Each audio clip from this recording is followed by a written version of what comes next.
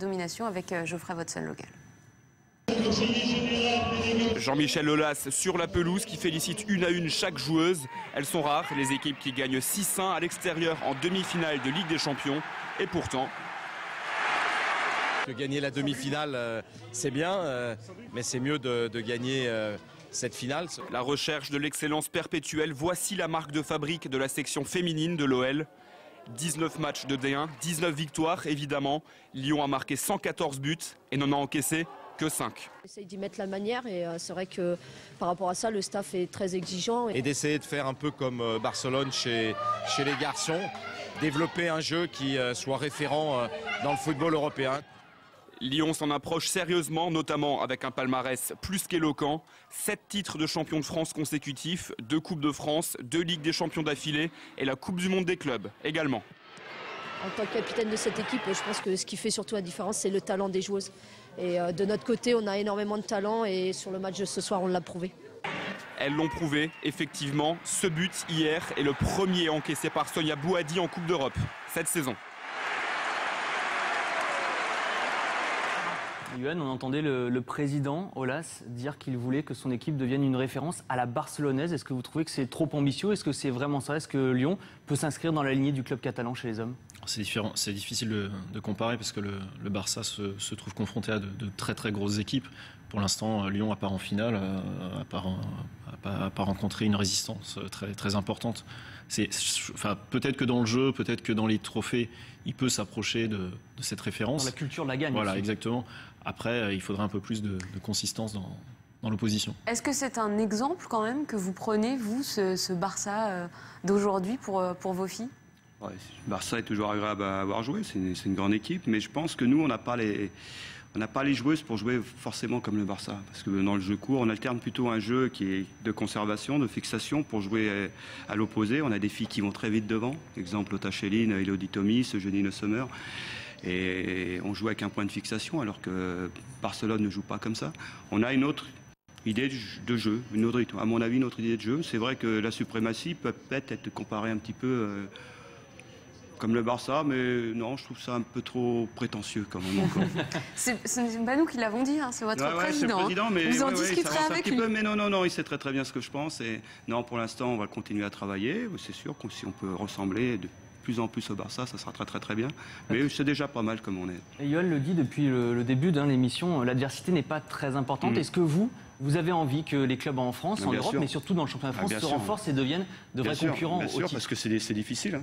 Moi, je vous dis franchement, il y a des- il y, a des week-ends, j'ai du mal à monter dans le bus hein, ou prendre l'avion, parce que c'est dommage à dire, mais Parce que c'est vraiment une catastrophe euh, de ne pas gagner. Bon, on me demande de gagner 6-7, 8-0, d'accord, mais il y a quelques matchs, bon, c'est vrai que ça manque d'adversaires, c'est vrai.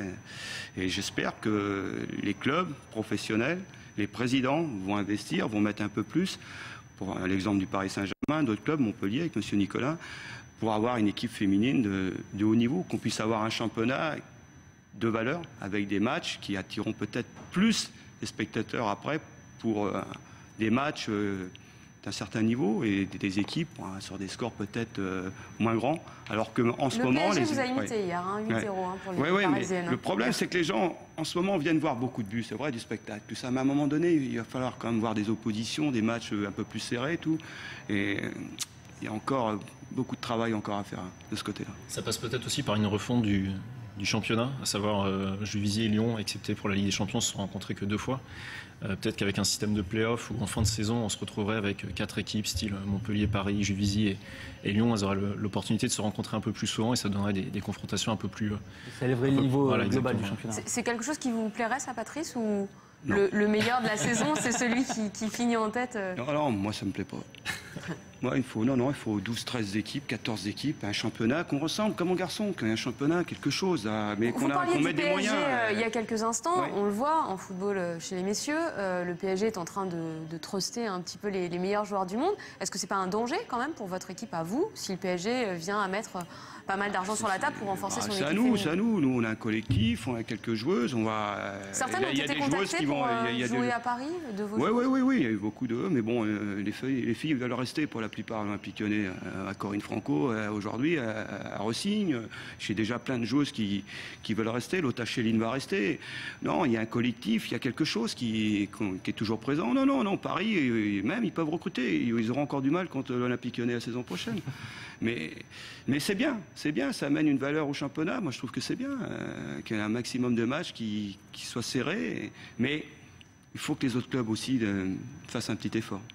On va peut-être dire un mot de, de l'équipe de France de foot féminin avec un euro très important en juillet prochain du côté de la Suède. Johan, tout autre résultat qu'une victoire finale serait un, un échec pour les filles de Bonobini Pour elles déjà, puisqu'elles l'annoncent, elles annoncent qu'elles veulent être championnes d'Europe, comme elles avaient annoncé qu'elles voulaient une médaille olympique. Euh, on sent une, une réelle volonté de se racheter de, de ce qui ressemble à un semi-échec par rapport à leurs attentes de, de l'été dernier.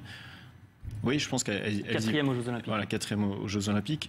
Elles annoncent en tout cas qu'elles vont en Suède pour, pour gagner ce, cet euro. Elles ont le soutien euh, de Marinette Pichon notamment. hein. Vous Mm. avez peut-être lu euh, l'entretien réalisé par Johan Aubois ce matin dans l'équipe. Si vous ne l'avez pas lu, c'est encore euh, possible. Euh, Lisez-le. Voilà, un, un bon moment passé à lire cet entretien avec pas mal de choses qui concernent justement les débats de société actuelle et qui donnent un petit peu de poids aussi à la voix de, de Marinette Pichon. Alors évidemment, on est obligé de parler de l'équipe de France et de vos relations un peu tendues avec Bruno Bini. Patrice Lair, est-ce que déjà un, un poste de sélectionneur de l'équipe de France, ça vous, ça vous intéresserait, vous Au jour d'aujourd'hui, il me reste deux ans et demi de contrat à, Jusqu'en à 2015, Lyon. hein, avec deux ans et demi, on va voir, on va voir. Bon, j'ai j'ai encore envie de, de gagner des titres avec Lyon. C'est vrai qu'à un moment donné, oui, un poste de, de sélectionneur, même une équipe étrangère. Mais bon, je, je serais malin, je prendrais une équipe qui, qui pourrait être championne du monde. C'est un truc qui, qui me vautrait bien, ça. Parce que bon, on, est toujours, on reste toujours ambitieux. Et c'est ce qui nous manque un petit peu là pour qu'on prenne notre envol complet euh, au niveau du football féminin en France. Euh, en club, on a été très performant, on y est, on est même champion du monde avec l'Olympique lyonnais. Je pense que c'est le moment. C'est le moment. Si, si la France peut gagner ce championnat d'Europe, ce Mais sera vous extraordinaire. sentez cette génération-là prête? Ouais, c'est la meilleure génération qu'on n'a pas eue depuis je sais pas combien de temps. Et on n'aura peut-être plus jamais comme ça. Et c'est le moment, hein, c'est le moment. Et, et bon, Coupe du Monde, c'était découverte, ça passe. L'année dernière, je pense qu'on aurait pu prendre une petite médaille quand même. Et cette année, on a la meilleure équipe, ça doit passer. Pour revenir un petit peu sur vos relations entre Bruno Bini et, Patrice Lair, on va en parler avec vous. Johan, si on essaie de caricaturer, euh, vous, Patrice, c'est plus le, le projet de jeu, c'est la rigueur, le professionnalisme, et Bruno Bini met souvent en avant le projet de vie, un terme que vous n'appréciez pas vraiment. Patrice, c'est ça, si on caricature un petit peu, Johan? Oui, c'est en caricature. Après, euh, je pense qu'il y a un projet de jeu aussi en, en équipe de France. Euh, pendant très longtemps, Bruno a, Bini a vendu son, son projet de vie, donc ça a un petit peu occulté le, occulté le reste. Après, euh, je connais bien les, deux personnages. Euh, Patrice et, Bruno sont, deux personnages totalement différents, opposés dans le caractère, et ça se ressent dans leur méthode. Euh, après, le, contexte est différent pour, le foot de sélection qui, Patrice euh, sera peut-être pas d'accord avec moi, est peut-être plus relevé avec les États-Unis, avec le Brésil, avec le Japon, avec la Suède, un petit peu en dessous l'Angleterre. Voilà, il y a peut-être un peu plus d'opposition en, en équipe de France, ce qui explique que pour l'instant, on n'est pas encore gagné de, de, de titres euh, avec les, avec les Bleus. Vous êtes d'accord, euh, Patrice, sur cette analyse? Projet de jeu, projet de vie, c'est un peu ce qui vous oppose avec Bruno Bini Moi, le projet de vie, euh, ça se passe bien à Lyon. Il y a des engueulades, il y a de tout. hein. Euh, on vit bien, on n'a pas de problème. Les filles re-signent, tout. euh, bon, mais c'est- pas toujours rose. Mais bon, après, on, on- on vit bien. Il n'y a, pas de problème. Mais on vit que dans la victoire. Moi, je vous dis à chaque fois, un groupe, il vit bien que quand il gagne. Le jour où je perds deux matchs de suite à Lyon, je ne sais pas si on va vivre de la même façon. Non, non, ça se passe bien. On va continuer à gagner pour que ça se passe bien. On vit bien euh, les filles entre elles et avec les messieurs, ça se passe comment? Ça va. Ça va, ça va, ça va. Il y a Vous vous croisez trucs. régulièrement? On, on avait Oui, oui, on euh, vit, on il n'y a pas mange, longtemps, on elle disait j'ai encore pas croisé David Ah ouais, ah Beckham. ouais, ah ouais, bah, c'est embêtant. Alors vous, euh, non, non, comment non, ça non, se on, est, passe? on est au quotidien, pas de problème. Ça se fait en salle de musculation, le midi à manger, tout ça. Non, non, non, on se croise, on vit bien l'Olympique lyonnais. Il y a une bonne vie haute. Quelquefois, on déborde un petit peu, aussi bien moi que, que d'autres Que personnes. Bernard mais- Lacombe par exemple. Ouais, ouais, mais bon, Bernard, Bernard, non, on s'est croisés, mais bon, c'est un petit peu la tête. Mais bon, je, je vais quand même l'inviter pour aller avec des champions, puis ça ira. Puis vous lui direz de venir sur le plateau de l'équipe 21. Il, il verra Ouais, que certaines filles. bien. euh, Vous savez, de nous, foot nous, l'important, nous, l'important, c'est le club, c'est le club. Comme on- je suis dans un grand club et suis, j'en suis très très fier. Et si on peut encore porter le plus haut possible les couleurs du club, on, on le fera. Et les garçons euh, vont le faire aussi, puisque je pense qu'ils vont être européens. Merci beaucoup, en tout cas, Patrice, d'avoir été euh, avec nous. Bonne finale à vous. Merci. On peut être euh, partial à ce moment-là, puisqu'il n'y a plus d'autres euh, clubs français. Donc, ce sera le 23 mai du côté de Stamford Bridge. Merci, Johan, d'avoir été avec nous ce soir. La publicité, dans quelques instants, on parle de Raphaël Jacquelin, vainqueur de l'Open.